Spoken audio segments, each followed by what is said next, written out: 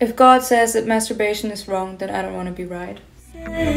Give me just a little sign and confess. Sometimes I fuck you in my head. I let you touch me when I'm lonely in my bed. I wanna scream but hold my breath. The kind of thing that you would rather leave unsaid. I got 30 wishes on my mind, but you